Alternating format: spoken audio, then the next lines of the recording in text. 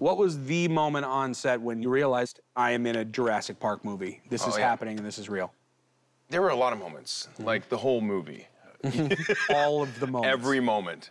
Everything that was reminiscent of the original movie, like the old visitor center, the old Jeep, things like that.